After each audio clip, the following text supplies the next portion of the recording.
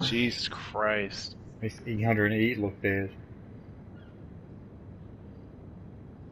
We've had like really high level, like there was like an 8,000 and he was like the cheater that was like, I think um, John was getting pissed off because he couldn't kill him.